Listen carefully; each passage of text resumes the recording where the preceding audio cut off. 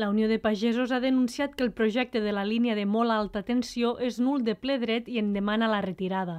El sindicat agrari també considera que la MAT causaria un impacte a l'espai agrari en perjudici de l'activitat econòmica i les denominacions d'origen protegides. Aquests són alguns dels aspectes destacats de les nou al·legacions que ha presentat el sindicat.